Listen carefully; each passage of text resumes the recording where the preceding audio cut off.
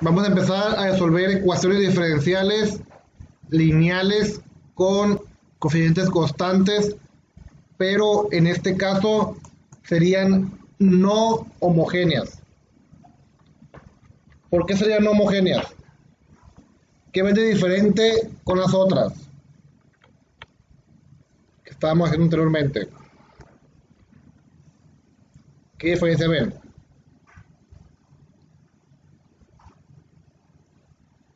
Esta parte de aquí. O sea, tienen un f de x diferente de 0. Entonces, vamos a resolver ese tipo de ecuaciones diferenciales. ¿Y esas cómo se resuelven? Pues la solución va a ser la suma de dos soluciones, la y homogénea y la y propuesta. Esta, pues es la solución de esta misma, pero en homogénea. Es decir, la van a forzar a que sea homogénea. Simplemente igualando a cero este. Ya que tengan la YH, que es la Y homogénea, van a sacar la Y propuesta. Esta Y propuesta. Esta depende de la f de x, es decir, de esto que está aquí. Y depende también, depende de esta f de x, van a ir a una tabla. Y ya que sacan, saquen la yo YP, van a compararla con la Y homogénea. Depende de esas tres cosas, ¿no? La Y propuesta. Primero hay que sacar la Y homogénea. Que la Y homogénea es simplemente resolver esa ecuación diferencial lineal con coeficientes constantes y homogénea. ¿Y cómo se resolvía esa? Pues sacan una ecuación auxiliar que es una versión algebraica de esa misma. Y nada más resuelven esa ecuación algebraica, ya sea por fórmula general o por así como productos notables o factorizando o despejes o sintéticas. Cualquier cosa, ¿no? Cualquier herramienta matemática. Díganme dos números que multiplicados te den 6 sumado 5. ¿Cuál puede ser?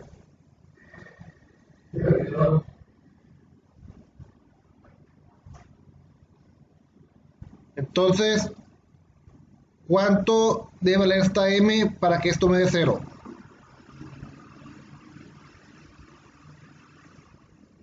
¿Cuánto? Debe valer la m.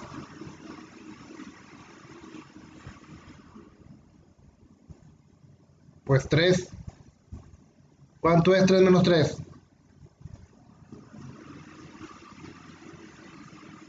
¿Y cuánto debe valer esta m para que este me dé 0?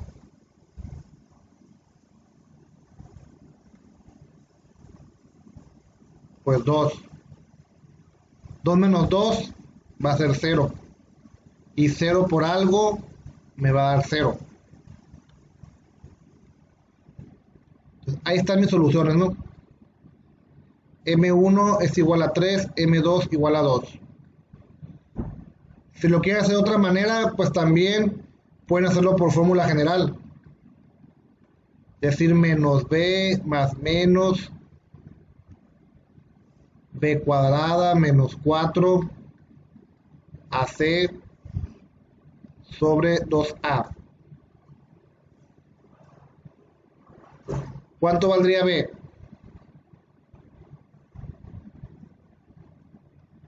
Menos 5. ¿Cuánto valdría A? 1.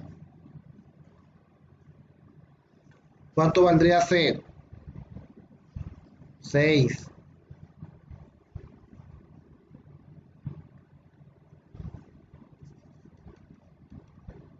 Menos por menos, más. Menos por menos, más. 5 por 5, 25. 4 por 6, 24.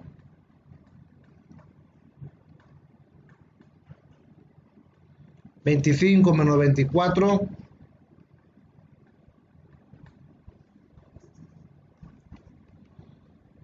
Raíz de uno.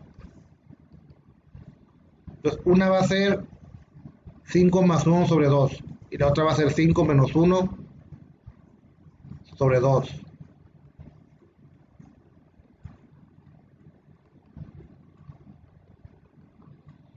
Y otra vez, ahí está M1 y M2. 3 y 2. Entonces, como le hagan, si lo hacen bien, van a llegar a lo mismo, ¿no? Como le hagan ahí. Entonces, M1 vale 3, M2 vale 2. Estoy resolviendo la ecuación característica, es decir, la algebraica de la diferencial, de la ecuación diferencial homogénea. Es decir, estoy resolviendo esa, acuérdense. Como ya encontré la solución de esa, ya puedo sacar la solución de la homogénea. Son dos reales diferentes. ¿Cómo quedaba la solución de la homogénea cuando eran dos reales diferentes? ¿Alguien se sabe la tabla ya? ¿Cómo queda? Cuando son dos reales diferentes.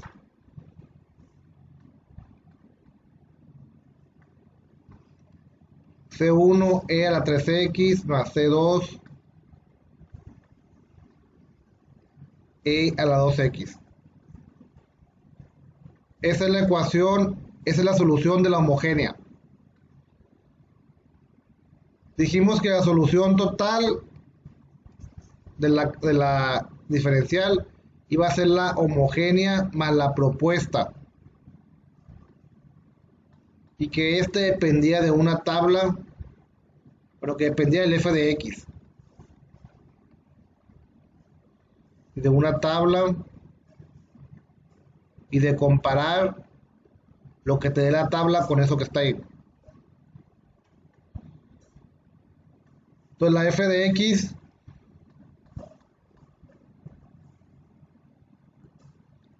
es esta parte de aquí.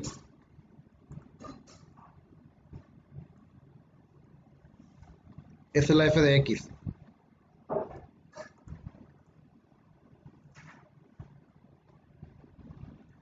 Entonces me voy a una tabla la cual tiene algunas f de x ya propuestas. Estas de aquí. Bueno, más bien estas. Esta de aquí.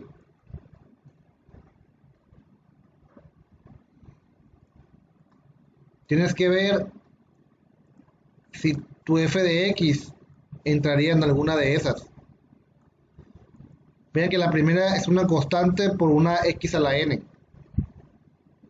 Y vean cómo queda la YP. Y vean que la segunda es un polinomio. Como este que está aquí. es una constante, x a la n más otra. Aquí está el polinomio acomodado nada más, de forma general. Y aquí yo tengo este que es un polinomio igual que esto. Esta es la f de x. Vean cómo queda la y propuesta. Queda a x a la n donde la n que es, es el grado mayor del polinomio. Y va bajando el grado hasta llegar a grado cero. Dice aquí que esta n, tanto esta que está aquí,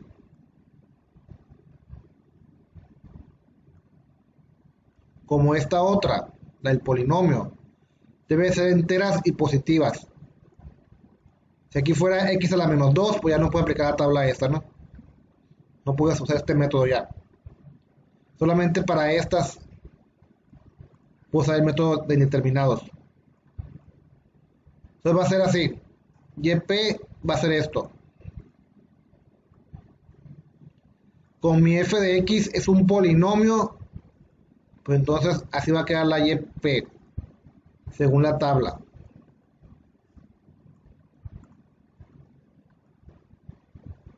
Así quedaría. Pero esta tabla está en general también, pues tienes que ver cómo queda. Si este que está aquí es cuadrado, entonces esta n va a ser cuadrada. Tienes que bajar el grado hasta llegar a la 0. O sea, aquí seguiría n a la 1, n a la 0. Va bajando el grado nada más hasta llegar a la 0. Esa va a ser la YP según la tabla. Eso que está ahí. Aquí lo voy a acomodar otra vez, ¿no? Según la tabla va a quedar AX cuadrada más BX más C. Porque X a la 0, pues vale 1. La X. Convierte todo eso en 1. Entonces, según la tabla va a quedar así, ax cuadrada más bx más c. Y ya por último, ¿qué seguía? Comparar. Vamos a comparar cada uno de estos con cada uno de esos.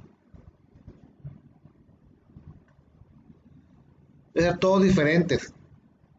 Por ejemplo, aquí yo tengo un exponente que sube rápido y aquí tengo un exponente que sube un poquito más lento. Yo aquí, este de aquí, es una parábola. Este de aquí, ¿qué es? Una recta. ¿Y ese de ahí qué es? Una constante. ¿Se repite alguno de esos? Vean los dibujos, díganme si se repite alguno. ¿Se repite o no se repite?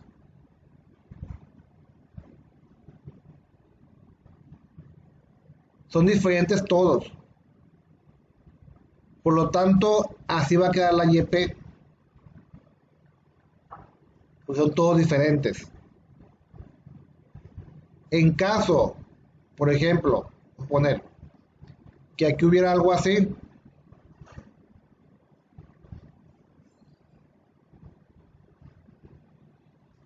hubiera una C3 ahí en la homogénea. Si yo grafico eso, pues es una constante. ahí sí se repetiría. Esta con esta de aquí. ¿Qué se hace en esos casos? Se le pone una X. Entonces ya esta constante se, convertiría en una recta. Pero luego esa recta se va a repetir con esta otra recta de aquí tendría que ponerle otra x, es decir, x cuadrada. Entonces ya esta ahora se convertiría en una parábola. Pero luego esta se va a repetir con esta. O sea, esta que está aquí. Entonces le pondría otra x más, que haría x cúbica. Entonces ya esta parábola se convertiría en una cúbica. Y así, hubiera, así quedaría, ¿no? En caso de que aquí hubiera habido una constante, pasaría todo eso. Tendrías que haber agregado todo aquí varias X hasta que ningún término se repitiera. ¿Ok? Pero aquí no es el caso ahorita.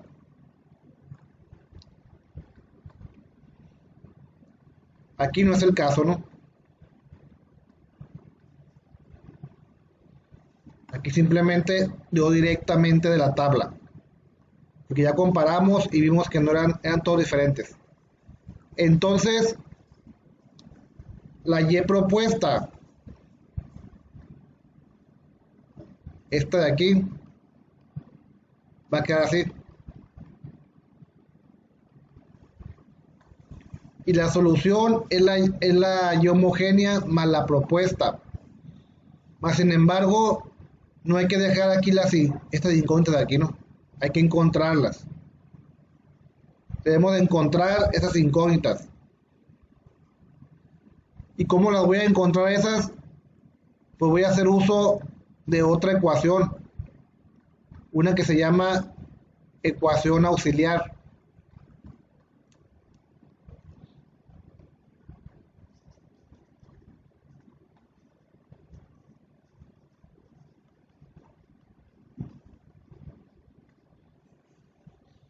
¿Dónde sale esa ecuación auxiliar? Sale de la misma diferencial. Sale de aquí.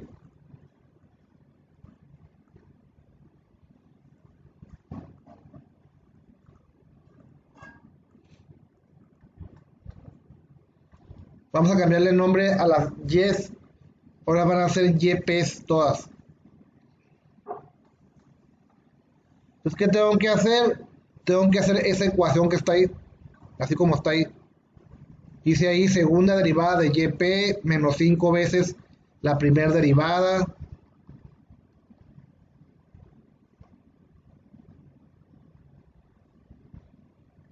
Más 6 veces la YP.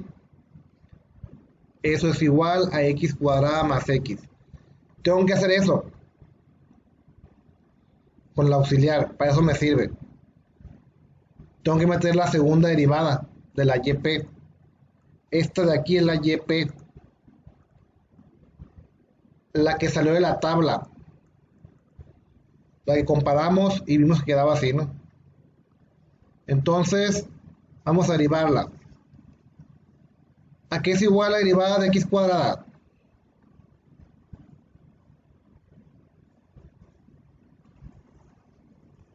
2x.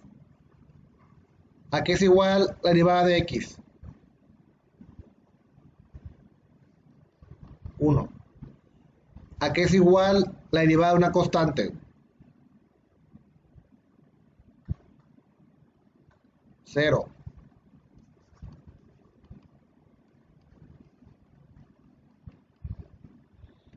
Ahí está la primera derivada.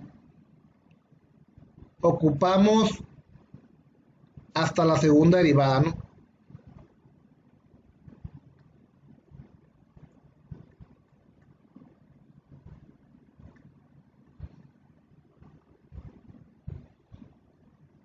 Vamos hasta la segunda derivada.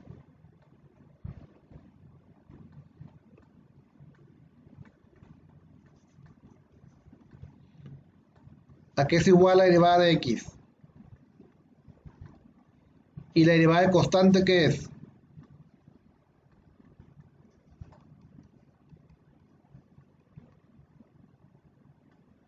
Entonces, segunda derivada es 2a.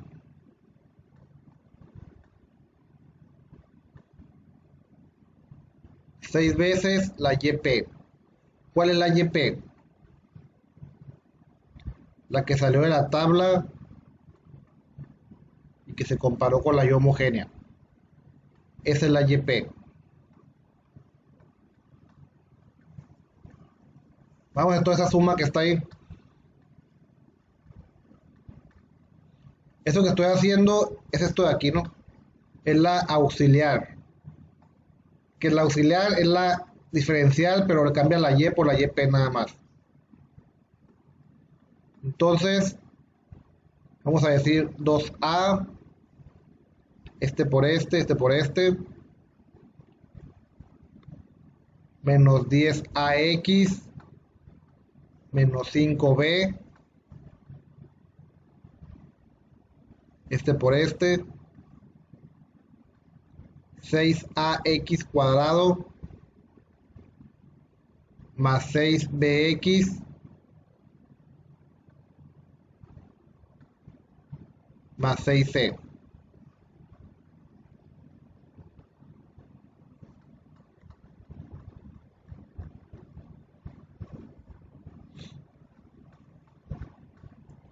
¿Qué vamos a hacer? si hay términos semejantes, pues se suman. En este caso no hay nada semejante, ¿no? Va a quedar exactamente así como está ahí. Porque no hay aquí términos semejantes.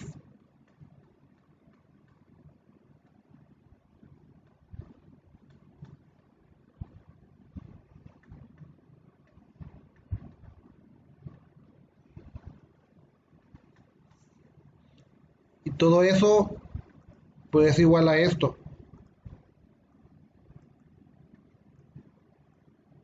O sea, estoy haciendo esto que está aquí. Metí aquí la segunda derivada, menos 5 veces la primera derivada, 6 veces la YP igual a esto. Es lo que me quedó aquí abajo. Esta ecuación que está aquí. Y de ahí voy a sacar un sistema de ecuaciones. ¿Cómo hago eso? Pues nada más voy juntando ahí lo que tenga de ahí las funciones. Por ejemplo, voy a decir quién tiene x cuadrada. Vean esta ecuación y díganme del lado izquierdo quién tiene x cuadrada. O poner nada más los puros coeficientes. Del lado derecho, ¿quién tiene x cuadrada?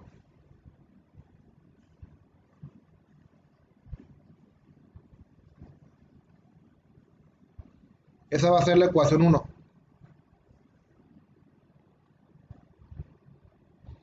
Voy a juntar los que tengan X. Del lado izquierdo, ¿quién tiene X? Pues aquí está, el 1.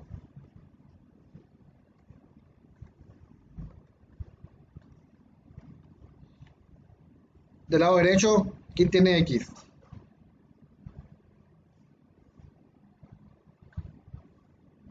Menos 10A. ¿Quién tiene X? más 6b. Ahí tengo otra ecuación. ¿Quién tiene x a la 0? Del lado izquierdo, ¿quién tiene x a la 0? Pues no hay, ¿no? Recuerden que x a la 0 es como tener una constante, pues. Sea, no hay ningún valor que tenga x a la 0. como no hay, voy a poner un 0. Del lado derecho, ¿quién tiene x a la 0? Es decir, ¿quién no tiene x? ¿Quién más?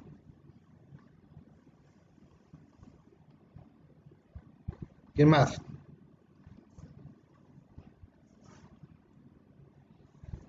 Ahí tengo otras ecuaciones. En el peor de los casos, me darían tres ecuaciones, tres incógnitas, en este caso, ¿no? Se haría con una matriz, usando Kramer, usando Gauss o usando inversa. En este caso es muy sencillo porque te, te dan directo. Por ejemplo, de la ecuación 1, puedes sacar directamente la A. ¿Cuánto valdría A?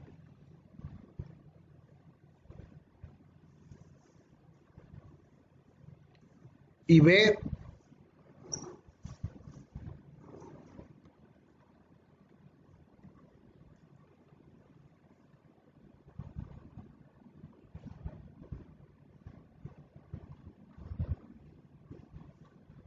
Nada más meto aquí la A y ya, es todo lo que voy a hacer.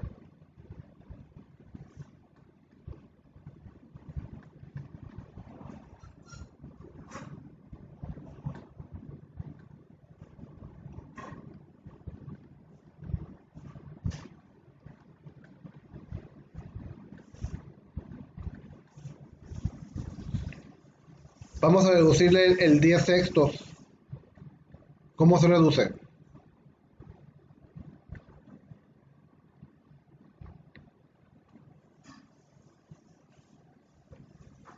Y si quiero hacer la suma directa, pues nada más convierto todo en tercios. Se va a quedar 3 tercios más 5 tercios. ¿Cuánto da eso?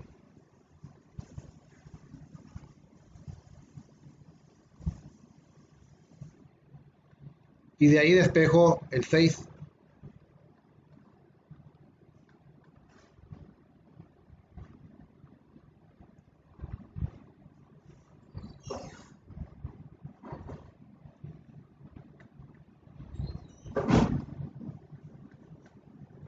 Entonces serían 2 por 4, 8, 2 por 9. Ese sería B. ¿Sí le dio a todos?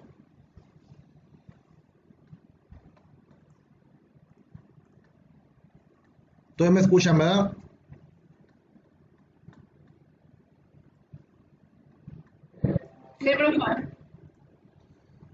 Entonces ahí estaría B. 4 novenos. ¿Alguien es diferente? Entonces la A vale un sexto.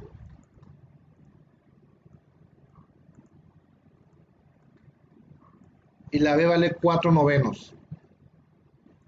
En la otra ecuación que está ahí, metería A y B.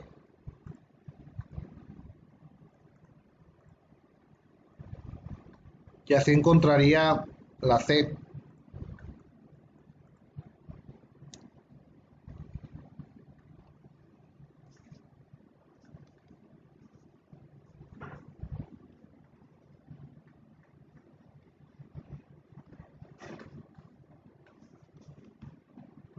Serían dos sextos que equivale a un tercio.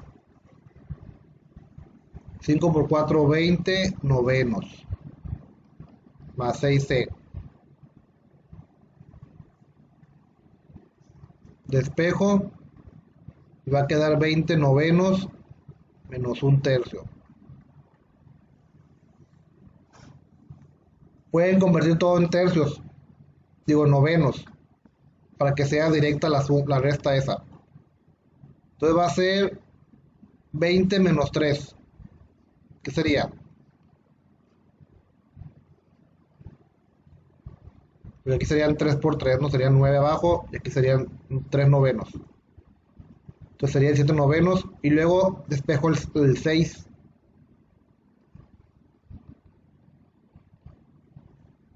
¿Cuánto es 9 por 6?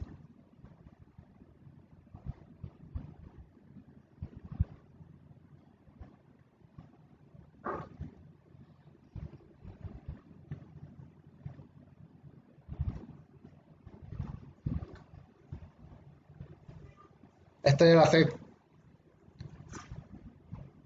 Esta es la Y propuesta entonces, la completa.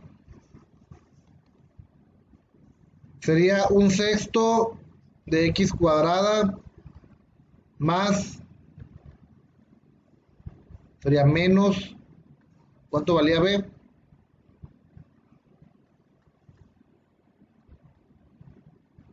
Cuatro novenos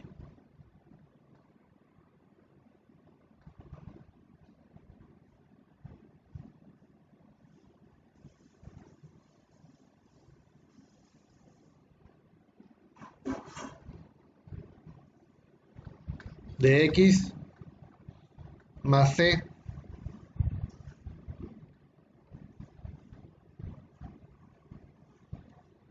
Esa es la YP, acuérdense que era AX cuadrado más BX más C. Así quedaría.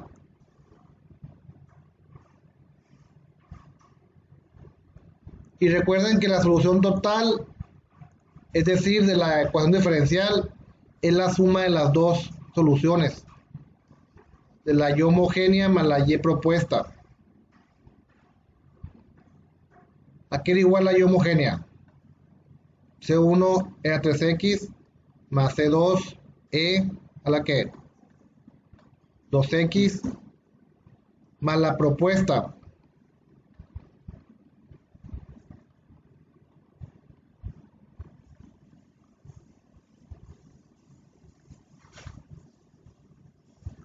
eso que está ahí es la solución.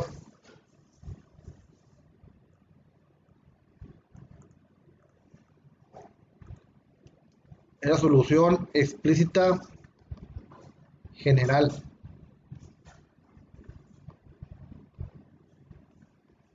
solución explícita general. Es decir, es una un infinito ahí de curvas, ¿no? Son una infinidad de curvas.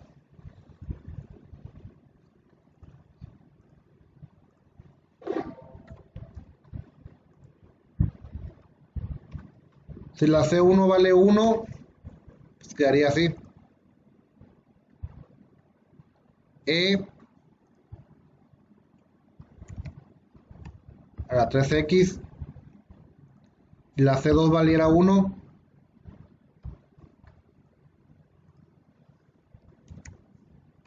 y a la 2X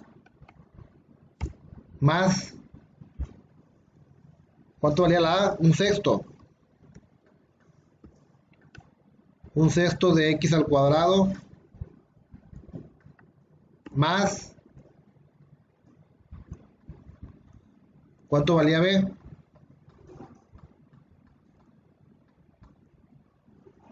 Cuatro novenos.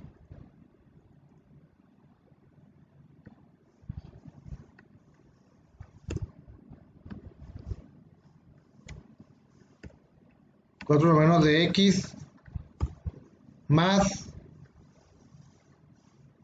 y 7 sobre 54.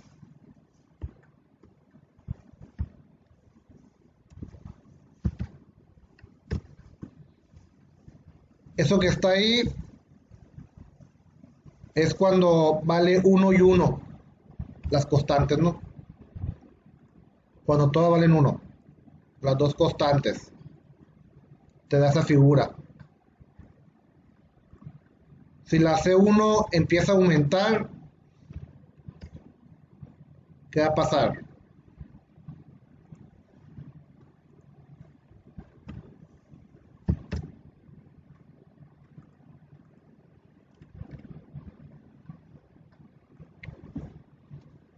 Pues entonces se va recorriendo esta. Exactamente igual, pero se empieza a recorrer esta figura. Entre más aumente la C1, va haciendo esto.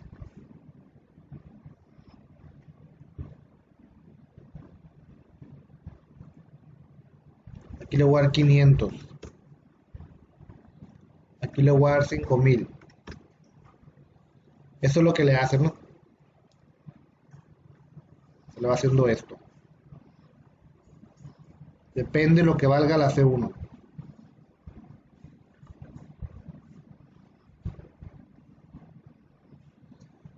Si es positiva. Si es negativa, a ver. La va a bajar. Si es negativa,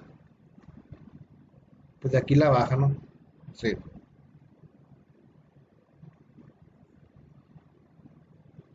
Y si es más negativa, ¿qué le va a hacer? Pues la va bajando más La va bajando desde antes.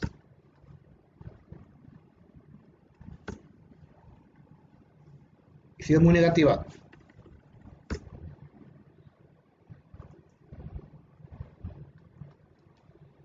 Entonces, entre más negativa sea, le va haciendo esto.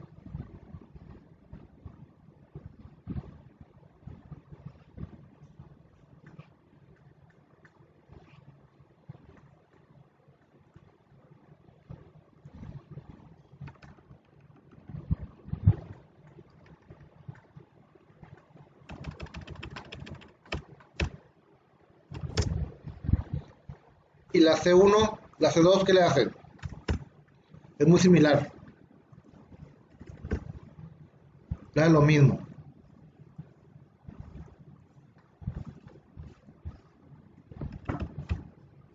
Y si es negativa,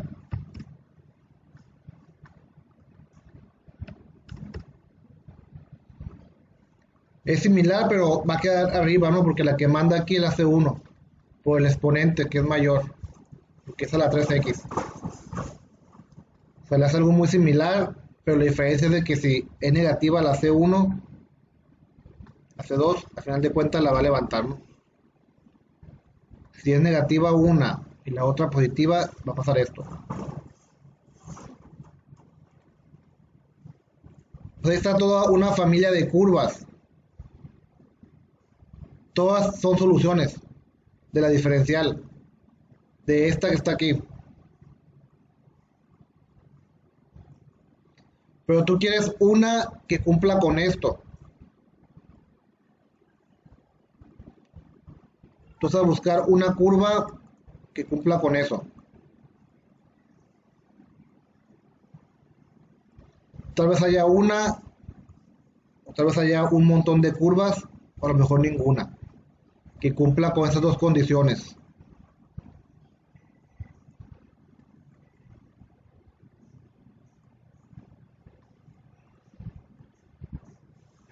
Vamos a meter ahí la condición.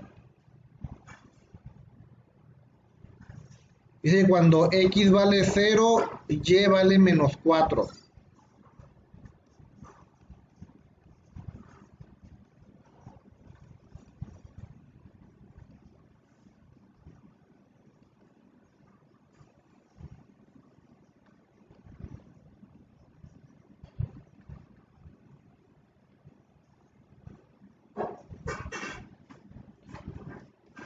Ya saben que E a la 0, ¿qué es? ¿Qué es E a la 0? 1. Esto se va a ir. Se va a quedar esto nada más.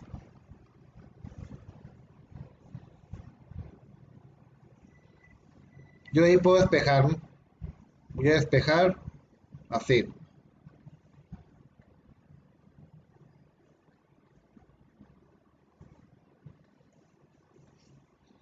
Entonces, para no tardar demasiado, dígame cuánto es en fracción esto. 17 sobre 54, ¿cuánto es? Vamos a sacar un aproximado nada más. ¿Cuánto es 7 entre 54? ¿Pero punto qué?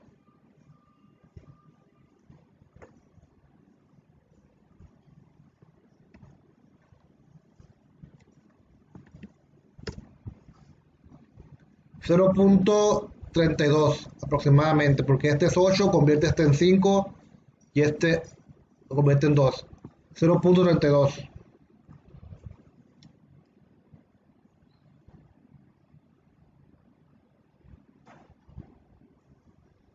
Entonces va a quedar menos 4.32 C1 más C2. Esa va a ser la ecuación 1. Vamos con la ecuación 2.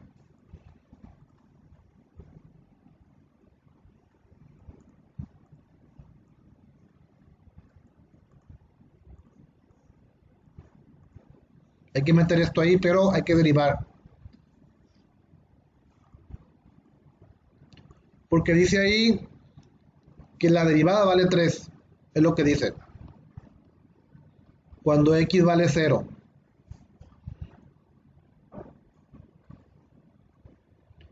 Entonces hay que primero derivar eso que está ahí. Derivada de C1 e a 3x va a ser, saco el C1, e a la U es igual a e a la U por derivada de U. Más, saco la C2, derivada de e a la U es igual a e a la U por derivada de U. Más 2 sextos de X más 4 novenos por derivada de x es 1 más 0 que este es constante ¿no? entonces eso que está ahí va a ser la derivada.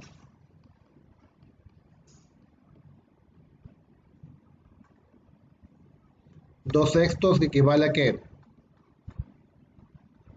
a un tercio más cuatro novenos esa es la derivada de la solución. Ahí voy a meter yo la condición.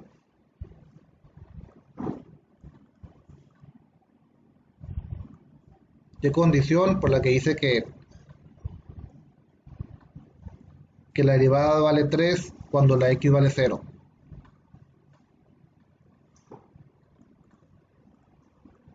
Esa de ahí.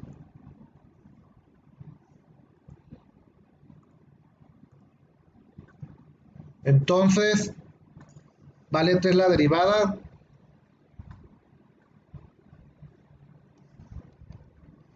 Cuando la x vale 0.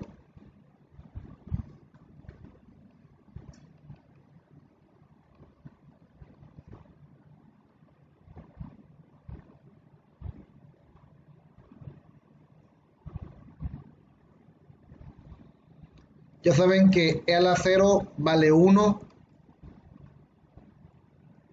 Este se va a ir. Y va a quedar esa, esa forma. Despejo el 3 cuartos o el 4 novenos. Y si quieren pueden convertir todo en novenos. Así. 9 menos 4, ¿qué sería?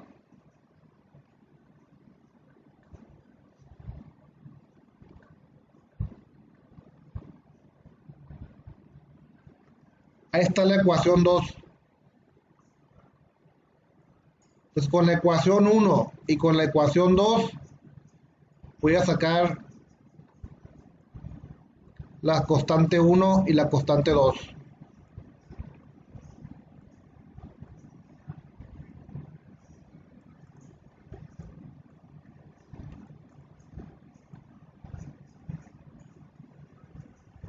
Como a final de cuentas ya saqué con punto decimal, pues ya no me conviene tener esto, ¿no?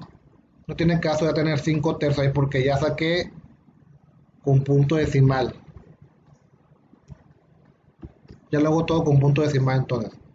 1.67.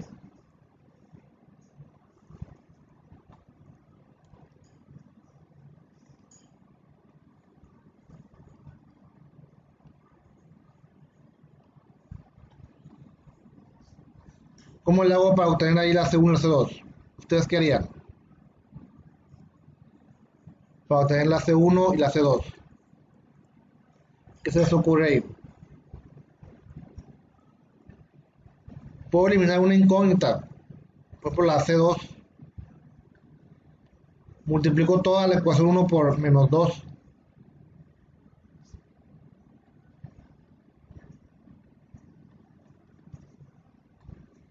Y lo que me dé se lo voy a sumar a la C, lo voy a sumar a la ecuación 2. ¿Ok? Menos 2 por 4.32, ¿cuánto es?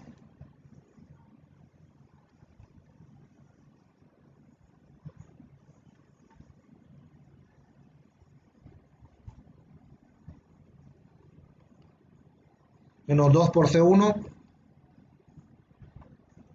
menos 2 por C2 y sumo esto. ¿Cuánto la suma eso?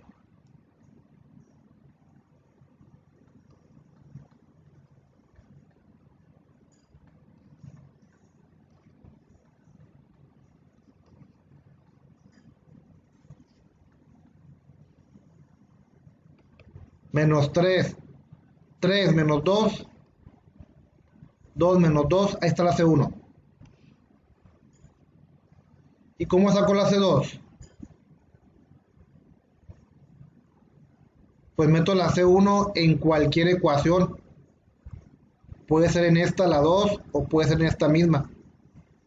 En las originales obviamente, ¿no? Puedo meter aquí la C1. Esa es la ecuación 1.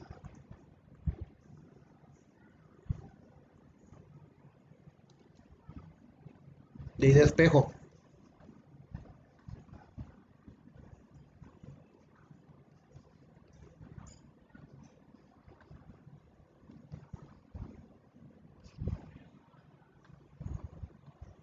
Despejé esta, no pasé esta restando.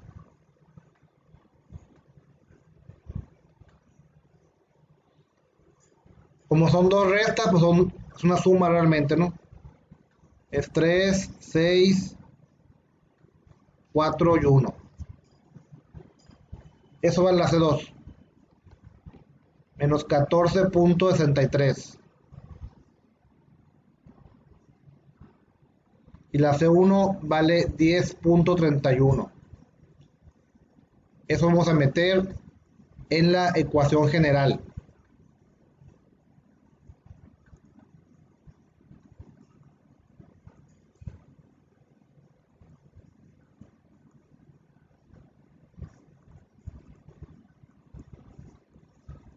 De la C1 dijimos que valía 10.31.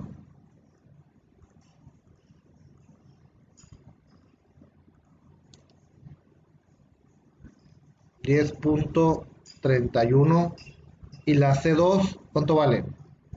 Menos 14.63.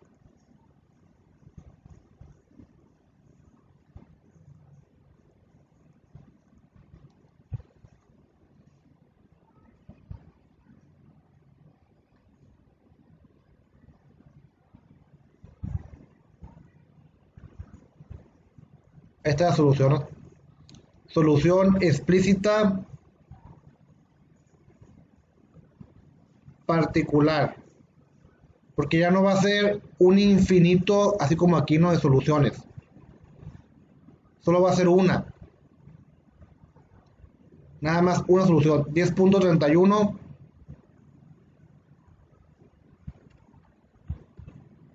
Y menos que era la otra.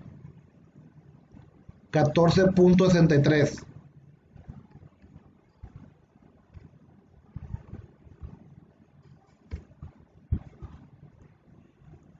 Pues va a ser esa la solución nada más. Solamente esa va a ser.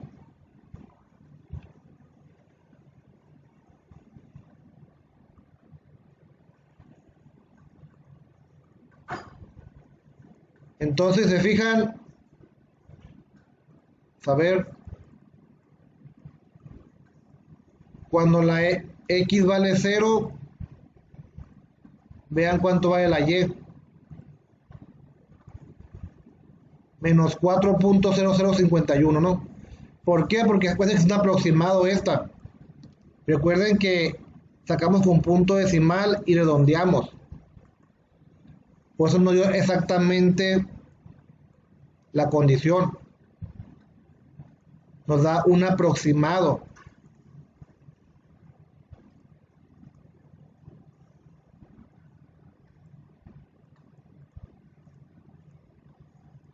Dan de cuenta que nos está dando esto. Nos está dando cuando x vale 0, la y nos está dando menos 4.0051. O sea, casi es el 4, ¿no? Porque es un aproximado, acuérdense. Aquí no está dando, ¿no? Está dando eso que les digo. Menos 4 puntos y algo ahí. Aquí lo estoy viendo. 0 menos 4.0041. Y la derivada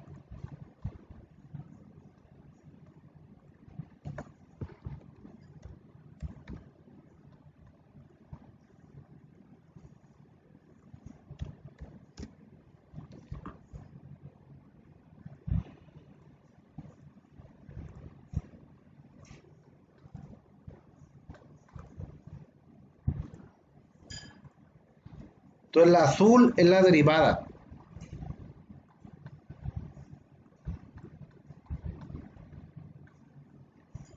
Cuando x vale 0, vean lo que da.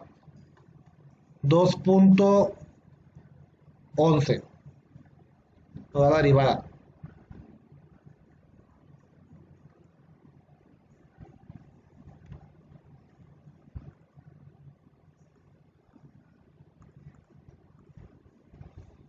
¿Y por qué pasa eso otra vez? Eso nos quedó muy, lejos, quedamos, ¿no? A ver. Quedamos muy lejos, creo. A ver.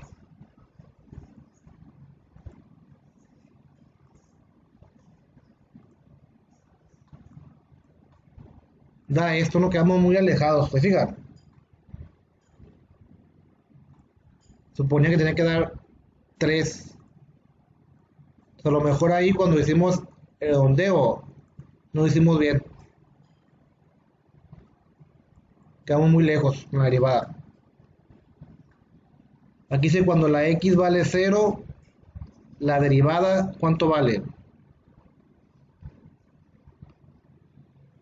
Está muy lejos de eso, ¿no? Pues ahí algo está mal ahí. A lo mejor la fracción esa que le dije, ¿cuánto es la fracción? Me dijeron algo ahí, ¿no? No sé. Pues sí quedamos algo alejados con la derivada.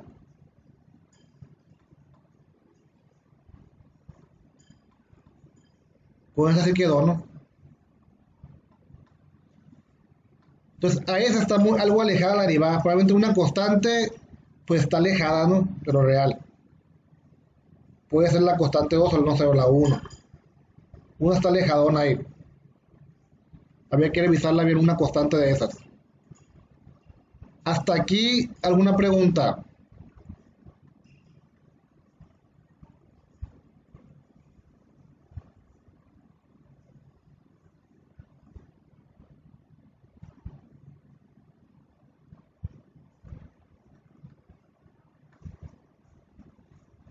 Están las dos, pero había que revisar, les digo, una constante.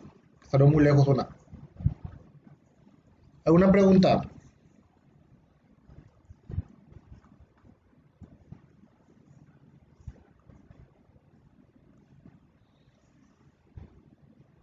Si no hay preguntas, hasta aquí llegaríamos.